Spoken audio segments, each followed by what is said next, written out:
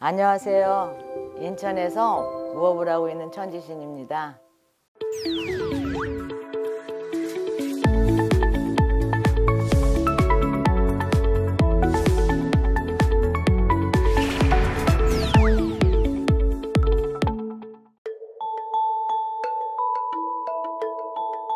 내가 이제 마음을 먹고 가서 내림굿을 하겠다, 무당을 하겠다고 나를 잡고 다 했을 거 아니에요? 하고 집에 왔는데 어, 우리 아저씨가 교회를 다녔어. 집사야, 집사님이야. 열심히 다니는. 근데 이제 제일 걱정이 우리 아저씨가 애들은 어리니까 굳이 애들한테는 얘기 안 해도 되겠다. 우리 친정 식구들도 얘기 안 하고 우리 아저씨한테는 해야 될 거 아니야.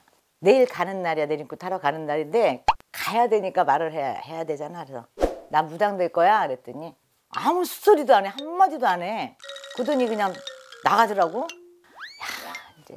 죽었다. 이, 그래도 삶을 살고 말을 말고 내가 내 새끼 지키려고 하는 건데 이 맘만 갖고 있었는데 한 두어 시간 있다 들어와서 아무 소리도 안 하고 자. 나도 그냥 잤지. 그 다음날 나 갈 거야 그랬다. 고자기에 싸갖고 이렇게 해고서 나 무당하러 간다. 갔다 올게 그랬더니 우리 아저씨가 하는 말이 가서 잘하고 와. 그렇게 할 때는 잡귀신이 먼저 든대. 그러니까 잘하고 와 그러더라고. 그 뒤도 안 돌아보고 갔는데 제일 걱정은 우리 아저씨였고. 근데 살면서 많이 싸웠어요 우리 나 무당되고 안 싸우던 싸움을 무당되고는 막 싸웠어. 진짜 신에서 신의 싸움이 난 거야. 자면은 얼마나 웃기는데 우리 아저씨는 방언을 막 하고 나는 잡기야 물러가라 하고 그러고 싸웠다니까. 자면서 잠꼬대도 그런 식으로. 사업을 하다가 못하게 된 거야. 왜냐하면 그 사람 자체도 자기가 교회 다녀서 몰랐지만 신의 몸주였기 때문에.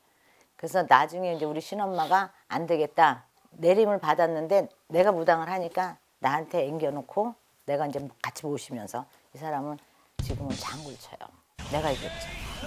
이긴 게 아니라 원래 우리 집안이 좀 내려오는 게 다 그래갖고 어쩔 수가 없어서 이길 수밖에 없는 거지 뭐.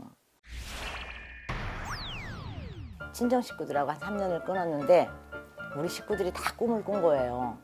옷을 입고 뭐 고속도로에서 춤을 춘다든가 뭐 별꿈을 다 꿔서 이상하니까 전화가 와서 나 무당 됐어 그랬다고. 그러니까 이제 우리 친정 엄마랑은 난리가 난 거지. 죽어도 자기네 집안엔 그런 게 없었대. 그리고 난리가 나서 3년을 안 봤어요. 우리 친정 아버지는 돌아가실 때까지도 가슴 아파했고 반대나 마나 이미 저질러 준 걸 뭐.